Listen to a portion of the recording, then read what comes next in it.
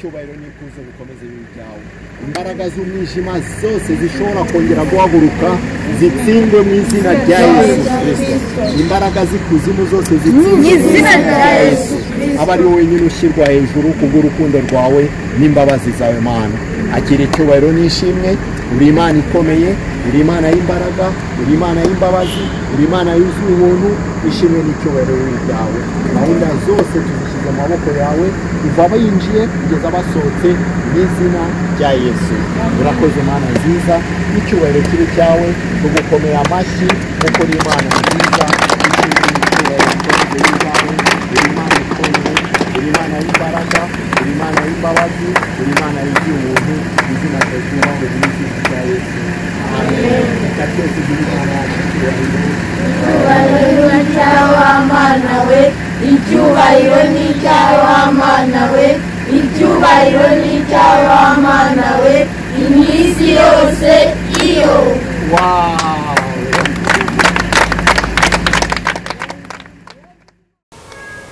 ntitwari tuzi ko imana yabikora none birabaye.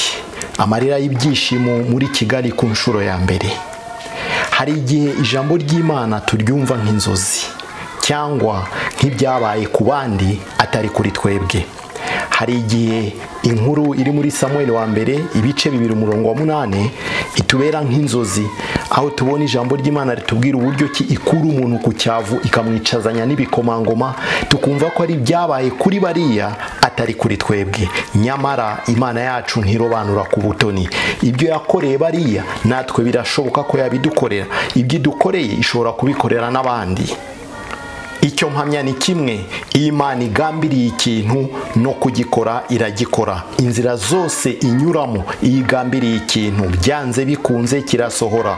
Umwana w'umuntu yabishaka atabishaka kirasohora. Abantu babishaka batabishaka kirasohora. Mu nzira zimwe cyangwa se izindi imana igambiriye ikintu kirasohora. Imana ivuze ikintu no kuba kiraba. Byanze bikunze.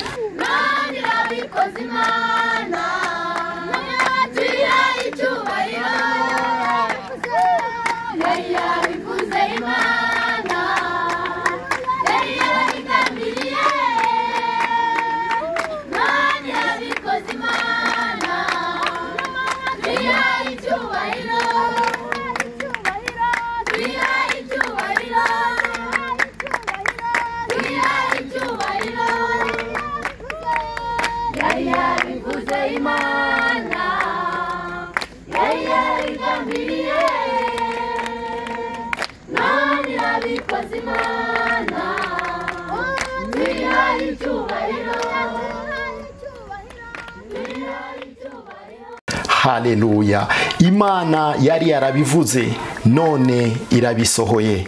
Imana yari yarabisezeranyije none uyu munsi bibaye impamo. Haleluya imana yacu ntihabwe icyubahiro mu izina rya yesu. Yari yarabivuze none irabisohoye. Imana yigambiriye ikintu byanze bikunze kirasohoka. Wabishaka utabishaka iyo yo yavuze irabisohoza mu izina rya yesu. Mana turagushima cyane kuri uyu mwanya mwiza. Ubane na buri umwe wese muri twebwe uri mu gihugu runaka uri ku mugabane w'isi runaka ubane natwe mwami. Ndakwinginze mubyeyi mwiza usobanurire ubwoko bwawe kandi ukomeze utugirire neza muri byose. Reka mana ukomeze usoza amasezerano yawe ku bwoko bwawe. Umuntu wabwiye ijambo ryawe akaritegereza agaheba akaritegereza bigatinda ukomeze umukomeze kuko iyo uvuze urabisoza mu izina rya yesu kirisito ubane natwe muri byose. Amen. Bavandimwe turashima imana kubw'iya mashusho kubw'aya mashusho murimo kureba. Ni amashusho meza cyane meza cyane y'abana bacu baje muri uyu mujyi wa kigali. Nk'uko mubyibuka ku itariki icyenda z'ukwezi kwa karindwi uyu mwaka turimo w'ibihumbi bibiri na makumyabiri na kabiri twakoze urugendo rw'amateka urugendo rw'ivugabutumwa mu karere ka rutsiro mu karere ka rutsiro mu burengerazuba no mu iburengerazuba yego iburengerazuba. Tujya kuvuga ubutumwa hariya imana ikora ibintu bikomeye nabahaye ubuhamya uburyo ki twamenyanye n'abariya bana imana yaduhaye ndetse n'ababyeyi babo cyangwa se n'abarezi babo uburyo ki twamenyanye narabibabwiyeho biri kuri youtube urebe ubutumwa tuvuga kuri iyo nkuru ahantu uri bubone hari ifoto y'abana benshi n'ababyeyi nanjye ndimo hagati ufungure muri ubwo butumwa uraza gusobanukirwa neza imvu n'imvano y'iki gikorwa. Amen. None uyu munsi mutangiye mubona amashusho abana ba yesu bari mu mujyi wa kigali. Turi kumwe twese duhagarariye leduzuvuriye aho bari mu mpande enye z'isi. Twese twagiye mu murwa mwiza cyane kigali yacu. Turimo tuzenguruka twereka abana umujyi wa kigali. Ni ibintu byari bishimishije cyane mu buryo bukomeye kandi turashima imana ku byo yakoze. Nk'uko mubyibuka icyo gihe twari turi muri iyo ntara. Twagiye kuvugayo ubutumwa twaratashye ndababwira muri iyo videwo ndababwira ko ni ukuri twabonye imana. Imana yabanye natwe ariko kimwe mu bintu byanteye ikibazo gikomeye ni uko mu gihe nari ndimo kubabwiriza nabasabye kuririmba. Barangije bafungura ibitabo by'indirimbo mbona uko twanganaga harimo ibitabo by'indirimbo bitatu. Ndababaza se nta bindi mufite? Barambwira bati uretse n'ibitabo na bibiliya ntayo tugira. Ndavuga ni ngwiki ati na bibiliya ntayo tugira. Bibiliya ati ndavuga ni sebye bimeze gute? Ati dufite bibiliya imwe nabwo si yacu ni ikigo. Ambo ngo turayitira tugasoma twarangiza tukayisubizayo. Numvise ngize agahinda mu mutima ariko ndaceceka ndangije ndasenga imana kugira ngo inyobore n'iki dushobora gukora. Bivuganaho n'abavandimwe dukorana umurimo muri leduzuvuriye twiyemeza ko tugomba kubashakira izo za bibiliya ndetse mbivuga kuri videwo y'ubushize iyo ngiyo mbabwiye ndashima imana cyane kandi namwe ndabashimiye ababigizemo uruhare byaranejeje cyane ko ubwo butumwa mwarabwumvise mugira iryo shyaka ryo kugira ngo ubutumwa twababwirije mu buryo bw'amagambo babutunge noneho mu buryo bufatika. Kuko ijambo ry'imana bibiliya ni ijambo ry'imana rifatika. Iyo umuntu asenga ababwira imana. Ubu usohora amagambo akurimo ukabwira imana. Mana nkorera ibi mana njyana aha mana mfasha ibi mana nkiza wowe ubuganira n'imana. Ariko imana iyo ishatse kuganira nawe mbere na mbere ntabwo ari bariya bahanuzi cyangwa se bariya baza bagahinda umushyitsi imbere yawe bakakubwira ngo imana irantumye bakavuga mu ndimi ngo imana irakuntumyeho. Ibyo ngibyo yego imana ishobora kunyura no muri iyo nzira. Ariko ni inzira itaba irisire kuko umuhanuzi ashobora kuvuga ibimuturutsemo tukoma ashobora kuvuga ibiturutse ku mana ariko ijambo ritavangiye ijambo ridafunguyemo amazi ritavanzemo amazi n'ibindi ni bibiliya ijambo ry'ukuri. Icyo gihe iyo usoma bibiliya iyo usoma bibiliya ni imana ibikuganiriza noneho wowe ku giti cyawe. Mu yandi magambo nigeze kubibabwira ho muri videwo imwe ndababwira ni nusoma igitabo cya petero ni urugero ni urugero petero ujye umukuramo ushyiremo izina ryawe. Nkanjye petero ubu si petero imana irimo kubwira ni kamanzi patrick. Nitwa kamanzi patrick. Amen. Ku batanzi imana ibaha umugisha ku bakurikiye ubutumwa bwa mbere cyangwa se wari usanzwe ubukurikira ariko izina ryanjye ntabwo wari urizi nitwa patrick kamanzi. Umwanzi muvandimwe eh, icyo gihe nkuraho petero cyangwa nasoma yohane nkuraho yohana. Ayo magambo imana yabwiye yohana ni ngewe muri iyi tampureza muri iki gihe cya none imana iba iyabwira. Amen. Benshi cyane bafata bibiliya bakayi- bakayi- bakayiha ba yohana ba petero eh, ba mariko ba luka ba matayo bakumva ko imana yabwiraga bariya. No! Ubu ngubu usoma bibiliya ni wowe imana ibikubwira. Iyo mirongo yose uba usoma ni wowe imana ibibwira. Ni nabwo buhanuzi bwuzuye budafite inenge bibiliya. Icyo gihe mwaremeye kugira ngo abana bacu babone ijambo ry'imana. Ndabashimiye mu izina rya leduze uvuriye shimiye leduze uvuriye mwese abo dukorana uyu murimo abo twemereye kuba abasaruzi bo mu minsi y'imperuka. Ndabashimiye uburyo ki mwagerageje uburyo bwose bushoboka kugira ngo izo bibiliya ziboneke ndetse na mituweli de sante mituweli de sante eh, y'abantu barenga eh, abantu bangahe harya eh, makumyabiri cyangwa cumi na bangahe cyangwa mirongo itatu reka nibuke neza. No yari cumi na batandatu. Sibyo? Niba mbyibuka neza. Yari mituweli y'abantu cumi na batandatu. Niba ntibeshye ndaza gusubira mu mibare neza. Ndebe imana ibaha umugisha cyane. Yari imiryango ibiri eh, ndabyibutse. Yari imiryango ibiri y'abantu batanu batanu ndetse n'abandi eh, batandatu ku giti cyabo. Ya niba mbyibutse neza ni gutyo imana ibaha umugisha cyane kuri ubwo bwitange ndetse n'inshuti za leduze uvuriye kuko hari abantu bampamagaraga nko mu mujyi bakambwira ati dusangana. Bakampa bibiri imwe wanifunze neza. Akampa bibiriya n'igitabo cy'indirimbo. Hari uwampamagaye ampa bibiriya eshanu n'ibitabo by'indirimbo bitanu. Hari uwampamagaye ampa bibiriya ebyiri. Hari uwampaye bibiriya niba ari zingahe. Byose byose bibiriya twari dukeneye zose turazibona none hari n'inshuti zacu zikunda leduze uvuriye bari mu bihugu bitandukanye. Mwaravuze muti icyo gikorwa iyo bibiriya nanjye ngomba kuyohereza bakampamagara ati se ninde twanyuraho kugira ngo iyo bibiriya igere aho igomba kuhagera imana ibaha umugisha mwakoze ibintu bikomeye. Ntabwo twabavuzaga mu mazina nubwo muri bake cyane ariko ibyo ibyo ibyagambiriwe kugerwaho byagezweho. Bibiriya zarabonetse zose hari n'izitarabagera mu ntoki ariko zihari na zo tuzazijyana mu minsi iri imbere izindi zabagezeho. Imana ibaha umugisha mwinshi cyane. Kuri ako karere muri ako karere twagezemo cyangwa se kuri uwo musozi twavugiyeho ubutumwa bene data biteye agahinda gakomeye ku buryo umuntu ashobora kukubwira ngo amaze imyaka mirongo asenga ari muri kiliziya asenga rwose ariko wamubwira afungure matayo. Apana abagaratiya Mm-mm. Apana muri timoteyo wa mbere cyangwa wa kabiri mm, matayo matayo igitabo cya mbere cy'isezerano rishya. Reka da ntamenya aho kiri. Kandi amaze imyaka mirongo asenga eh, asenga ari mu idini runaka asenga. Ni ukuvuga ko gusenga no gukizwa ni ibintu bibiri bitandukanye. Amen. Ariko iryo jambo ryabashitseho imana ihabwa icyubahiro.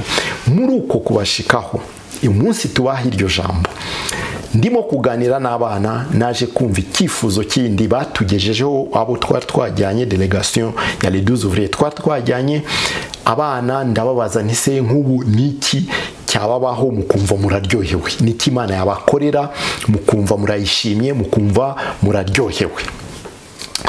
Ngiye kumva numva batangiye guhwihwisa bati kujya i kigali ntega amatwi neza iki ngo kujya i kigali. Ndavuga ni kujya i kigali mu mu- mu murwa wa kigali kapitali yacu. Ati we bose ngiye kumva numva bose bavugiye rimwe ngo yego yego yego. Ndabaza muravugisha ukuri? Ati ni ukuri kujya i ubu ngubu tuvuge muri mwebwe. Ndababaza ikibazo ntise muri mwe ninde wageze i kigali? Bose abo bana nta n'umwe wari wakageze mu mujyi wa kigali.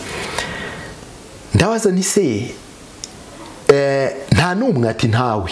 Mwese ni cyo cyifuzo ati yego rwose mugeze i kigali mwakwishima mukajya gutembera igitondo kimwe mukajya gutembera i kigali mwakwishima bati rwose twakwishima. Mm, mbonerega ibintu biri seriye ntabwo ari ibintu by'imikino y'abana. Ndongera mbasubizamo baransembera bati rwose yaba ari kado ikomeye cyane. Nyuzamo amaso ndeba ukuntu bangana mbona ni benshi. Ntabwo byaba ari ikintu cyoroshye kubavana.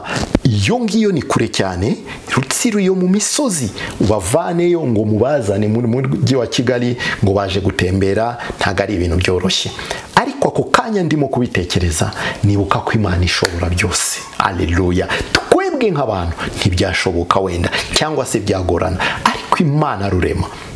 Birashoboka. Iyo yabivuze no kubikorera bikora amen. Niyo mpamvu uyu munsi nawe isezerano ryawe sinzi icyo imana yakubwiye sinzi igihe bifashe sinzi uburyo kibitinze ariko imana iyo ivuze no kubikora irabikora. Keretse ari umwana w'umuntu wabikubwiye ariko ari imana yakubwiye ihangane. Aho izanyura ntuzahamenya igitondo kimwe ibyo yakubwiye bizasohora mu izina rya yesu. Amen. Aba bana bacu nyujijemo amaso mbona uko bangana ndavuga ni oke imana imana dusenga ishobora byose. Yabishobora ishobora kubikora. Ndabibabwira gutyo mwizere imana izabikora. Oke oke tuva aho ngaho njya ku mavi. Ibanga ni amavi hareruya njya ku mavi ndavuga ni imana. Bariya abana bacu twarabagaburiye mu mwuka.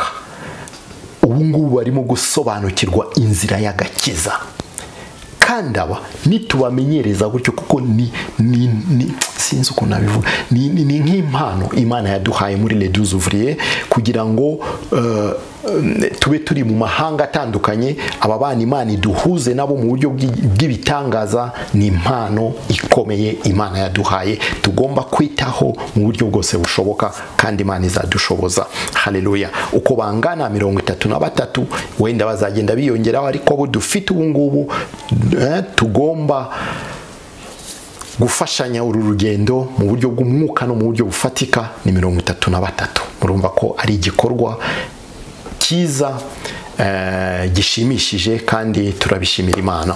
Bavandimwe icyo gihe njya ku mavi ndasenga mvuga mana numvise binkoze ku mutima cyane. Nahise nibuka ubwa mbere njya i burayi. Harenze imyaka cumi n'ibiri ndakeka ni bwo nakandagiye i burayi.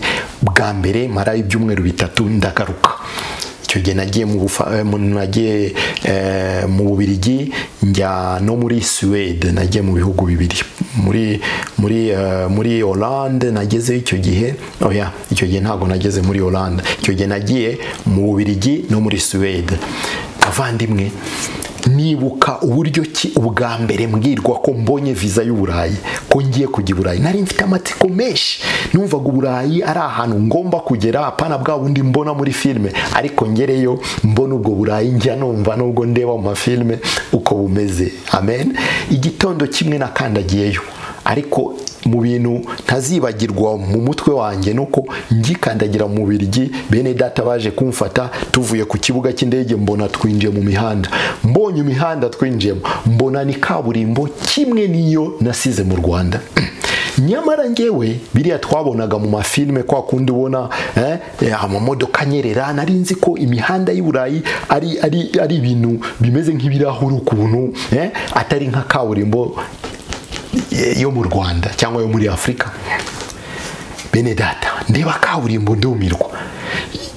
Tugera iyo tujya niyo kaburimbo. Bukeye bwaho ngendera muri za kaburimbo nk'izo nasize mu rwanda. Ndavuga ni sepa posible burya uburayi ni ubu ngubu ariko amatsiko nari mfite aragabanuka arashira. Ikindi cya kabiri ninjiye mu mazu ya hariya mbona utuzu tumeze ukuntu n'ibiki byose ndumirwa ndatangara cyane ndavuga ni sepa posible ni uku nguku uburayi numvaga ari ahantu hameze henda kuba nko mu ijoro kumbe ni gutya. Ayo matsiko arashira ariko ndaryoherwa ku buryo nanatashye mvuyeyo ngarutse numvise nishimye ndavuga imana ibihugu byo muri afurika bitari bike maze kubizenguruka. None ungejeje mu burayi muri aziya nagezeyo none ungejeje mu burayi. Tukamvuye no ku isi uyu munsi navuga n'isi narayitembereye. Amen. None icyo gihe nahise ntekereza aba bana bacu kuba batanze icyifuzo nk'icyo ni ukuri birashoboka ko bishobora kubanezeza. Uko niko twapanze noneho nyuma yo gusenga mbiganira na bene data bavandimwe imana ikora ibitangaza. Bamwe muri bo barabyumva barashyigikira iki gikorwa no mu buryo bufatika turangije dupanga uru rugendo. Hasigaye iminsi mike satana akanyongorera ati ibyo bintu biraremereye birahenze. Kuko twatekereza kuzana abana bangana gutyo imodoka izabazana aho bacumbika bakarara bakubazengurutsa ariko imana ifungura imiryango. Habuze iminsi nk'ibiri. Satana atangira kunyongorera ati ibyo bintu wabiretse ko bihenze cyane. Ariko imana iza gufungura umuryango umwe w'ibitangaza mu buryo bukomeye imfungurira umuryango ku buryo icyo gikorwa cyaje kuba mu buryo bwiza duhimbaza imana cyane dufatanyije n'abandi dukorana uyu murimo. Umva sinzi ukuntu nabibabwira. Bigenda neza uwabishoboye ashyira mu cyo yari ashoboye. Dukora igikorwa abana bacu baraza. Uko niko mwabonye iyi videwo itangiye. Twaragiye tujya kubafata imodoka irabazana bagera ino nimugoroba duhimbaza imana.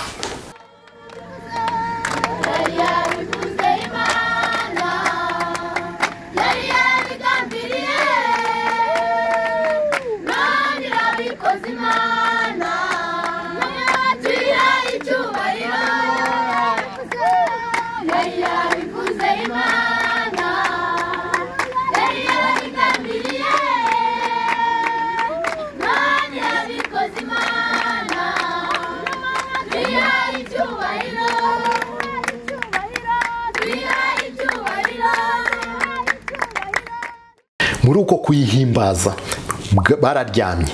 Nijoro turi mu buriri turi bagiye kujya mu buriri sinzi ukuntu nari ngiye gutaha. Twari tunaniwe bwari bumaze kuba hafi saa yine saa tanu z'ijoro tugiye gutaha ngiye gutaha ngewe abandi basigare hariya aho bacumbitse ninjira mu cyumba aho abana b'abahungu baryamye. Ninjiyemo mbona abana bishimye cyane banezerewe. Barimo kwidunda kuri za matela? Barimo kwidunda kuri za matela baryoherwe gusa mbibonye mbitekerezaho gake gusa biragenda. Ariko bukeye bwaho dusubiranyeyo iwabo. Tugezeyo dukoze umurimo igikorwa cy'ivugabutumwa umunsi wa nyuma w'icyo gikorwa turimo kuganira n'ababyeyi babo tumaze kubabwiriza abantu bakijijwe hakijijwe abantu baha kirisito ubuzima bwabo byari ibitangaza bikomeye cyane. Amena bamaze gukizwa tubaha za bibiliya ziriya bibiliya mwaduhaye turazibashikiriza imana ihabwa icyubahiro. Noneho muri uko kuganira nabo ndabagira mu mbabarira akabazo k'amatsiko nari mfite. Ako kabazo ndifuza kukabagezaho. Mwihangane ntimubifate nabi. Bati yego ndababwira nti se abana bacu iyo bavuye mu ishuri iyo bavuye mu buzima bwa buri munsi bararahe mu mago ni bangahe bashobora kuba bafite matela yo kuraraho? Kuko numvaga ijwi rimata kubaza icyo kibazo. Mbabajije naje gutungurwa no kumva ko ngo ntawe ufite matela. Ndavuga nti se barara kuki? Barambwira ngo baryama hasi ku byatsi. Ntego ugutwi neza ntigute ati ku byatsi. Ibyatsi se gute? Sinumvaga mbisobanukiwe. Ngo bafata ibyatsi bakabisasa hasi bakarenzaho umukeka cyangwa umusambi bakaryama. Yo numva ndababaye. Ni ukuvuga ko birirwa ku ishuri bagataha bakaryama hasi. Ati mbese kuvuga abana n'ababyeyi hari ababyeyi nabo bigenda gutyo nabo baryama ku byatsi.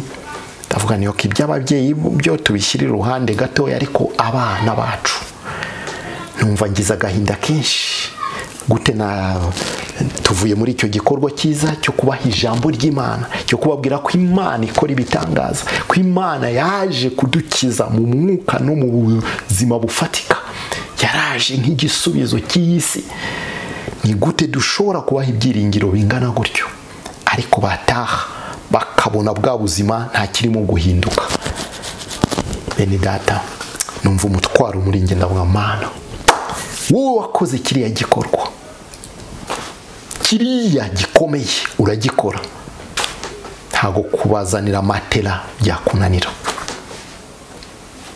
Icyo cyifuzo mu mutima no kugisengera kugira ngo igitondo kimwe nidusubirayo mu ivugabutumwa mu kwezi gutaha ejo bundi mu itangiriro ry'ukwezi kwa cyenda izo matera zizabe zabonetse tuzibajyaniye. Amen.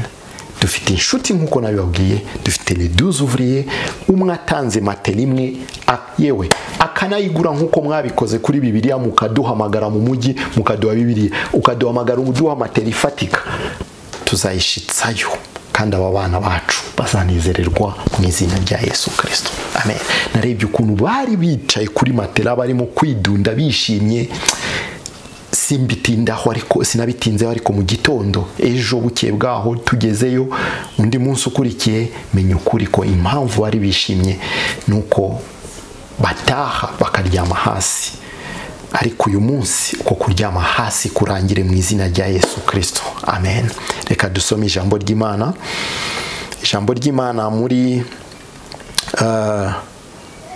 oh yesu. Ijambo ry'imana mu gitabo cy'abagalatiya ibice bitandatu umurongo wa cyenda kugera ku icumi bibiri iratubwira ngo twe gucogora gukora neza. Kuko igihe nigisohora tuzasarura nitutagwa isari. Muvandimwe. Igihe cyose imana izajya iguha oporutinite yo kugira neza ujya ukora. Utarebye iburyo utarebye ibumoso. Utitaye ku magambo abantu bavuga. Twavuzweho byinshi. Tubivugwaho. N'abo twakoranaga umurimo n'abo twasenganaga n'abo twasangiraga n'abo twagendanaga. Bavuga ibyo bishakiye. Ariko niba imana yaraguhaye iyerekwa muvandimwe niba imana yarampaye iyerekwa runaka igitondo kimwe nageze ahantu ndasobanukirwa nshima imana ndavuga mana uhabwa icyubahiro. Uzirinde. Ndimo kubwira benshi muri mwebwe mufite amaviziyo imana yabahaye yo kuvuga ubutumwa hirya no hino ku isi yo guhindura ubuzima bw'abantu mu mwuka no mu bifatika. Uzirinde ibiguca intege. Uzirinde amagambo yose bazakuvuga atari yo. Nubwo bavuga iki? Uzaharanira ikintu cy'uko bazavuga ibitari byo uzirinde ko nibavuga ngo wibye utibye wasambanye utasambanye wabeshye utabeshye ibyo uzabyirinde. Ariko nibabivuga utabikoze imana izakomeza iguha umugisha ikuzamure izamure iyerekwa yaguhaye byanze bikunze kandi ibyo bizajya biba amaso ya bose abibona mu izina rya yesu. Atari ukugira ngo ushimwe atari ukugira ngo uvugwe atari ariko kugira ngo imana yawe imana yaguhamagaye badahari. Imana izakora ibitangaza izahimbazwe izashyirwe hejuru. Amen. Ni ukuvuga ko iyo witaye ku ngo kanaka yavuze kanaka yavuze ntacyo ugeraho nta n'icyo ukora. Utinzwa n'amagambo kandi usanga bene abo ngabo baba ari abantu babiri batatu bane batanu maximum batanu mu bantu ibihumbi. Ariko bafite ururimi rubi cyane rwanduza rwentoxika iyo utitonze utakaza umuhamagaro w'imana. Iyo uhanze amaso abantu ugahanga amagambo y'abantu utakaza umuhamagaro w'imana. Icyo ngishima imana cyane ko muri izi ntambara twanyuzemo nka uvuriye icyo kintu imana yarakimpishuriye va ku bantu va mu bintu va mu kivunge. Shaka imana yaguhamagaye shaka imana yaguhaye shaka imana yakugiriye icyo cyizere. Mu bihumbi n'ibihumbagiza nawe ikabona kuri uwo uri uwo kwizerwa ikugabira umurimo wayo. Umunsi nafashe icyo cyemezo.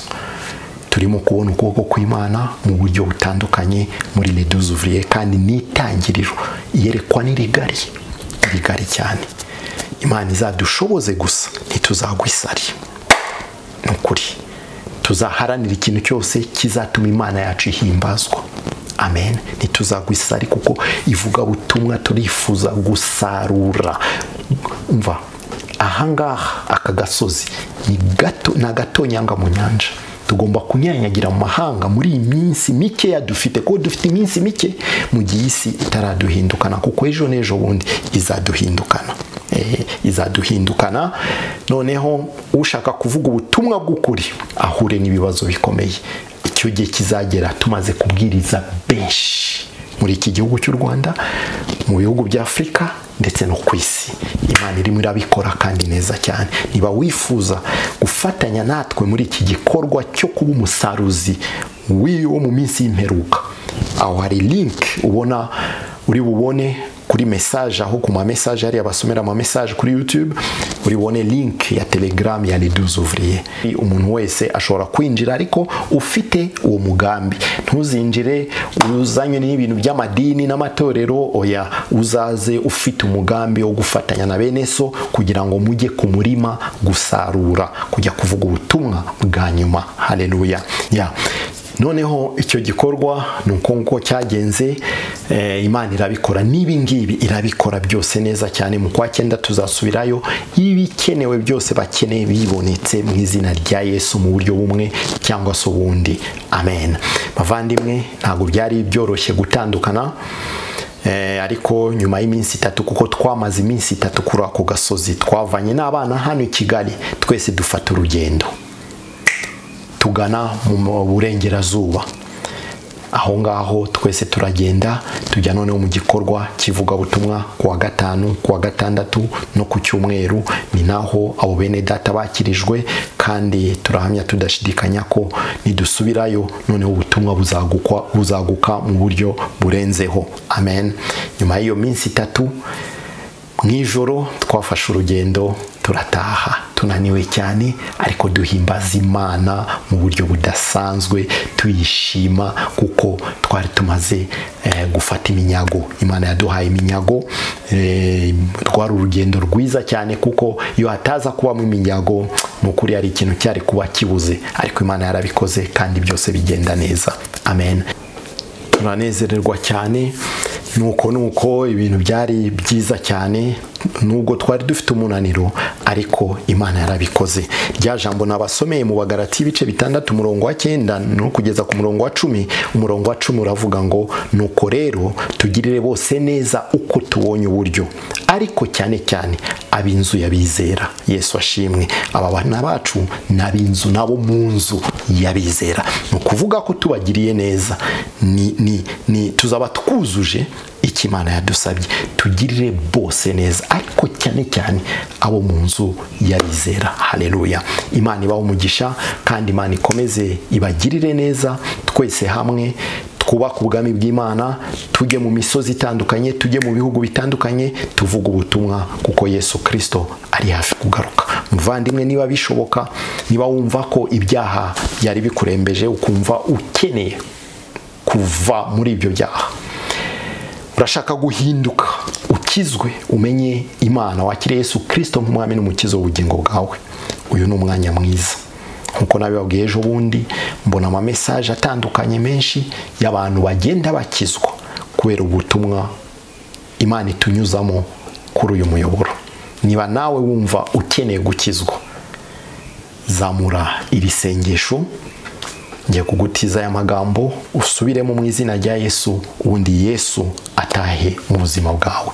Subiramo uti mwami yesu ndagushima kuri uyu mwanya mwiza umpaye. Nciye bugufi imbere yawe. Ndi umunyabyaha ndagusaba imbabazi umbabarire umbabarire umbabarire. Ndakwakiriye nk'umwami n'umukiza w'ubugingo bwanjye. Umbabarire ibyaha byose nakoze ibyo nibuka n'ibyo ntibuka. Unyandike mu gitabo cy'ubugingo. Mu izina rya yesu. Ndakwizeye imana ko kuva uyu munsi umbereye data mubereye umwana. Ndagushima mana nziza kuba inkoreye kandi ndakwizeye ko tuzabana iteka. Unyambike imbaraga. Mbashe gukura. Ndetse nanjye ejo n'ejo bundi nzazane benshi kubwo gukiranuka mu izina rya yesu amen. Mana turagushima mu izina rya yesu kirisito urakoze cyane kubw'uyu mwanya mwiza urakoze kubw'iri jambo urakoze kubw'iki gikorwa. Ukomeze ukore nk'imana. Umugisha umuntu wese. Twabanye tuzakomeza kubana kandi byose bikazakorwa kugira ngo izina ryawe rihabwe icyubahiro. Ni mu izina ry'umucunguzi wacu yesu kirisito dusenze twizeye. Amen. Yesu abaha umugisha ndabakunda mu izina rya yesu. Bayi bayi